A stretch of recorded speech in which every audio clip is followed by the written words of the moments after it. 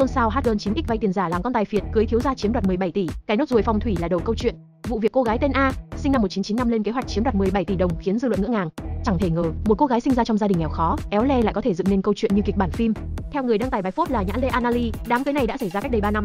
Nhã Lê Anali cho biết, đám cưới nhằm chiếm đoạt 17 tỷ đồng được A thực hiện cách đây 3 năm. Nhã Lê Anali vì thương cảm cô đang có bầu mà tha thứ, cho cơ hội về quê lập nghiệp. Dì của A đã đứng ra khóc lóc cho cháu và hứa sẽ giám sát để A làm lại cuộc đời.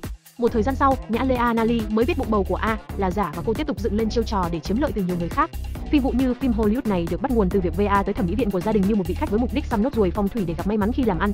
Cụ thể được chia sẻ như sau, cách đây 3 năm chính xác là năm 2018, con bé này tên thật Ninh Thị Vân, Anh sinh năm 1995. Đầu tiên nó tiếp cận E là ca hát của E nó nhờ E xăm cho nó mấy nốt ruồi phong thủy vì nó đang làm mấy dự án nó muốn xuân sẻ. Sau này E té ngửa các dự án đó là lừa đảo và trong đó cú lừa kinh điển chồng E với tổng số tiền thiệt hại tới 17 tỷ đồng. Hiện tại những tình tiết trong câu chuyện này vẫn chưa được xác thực.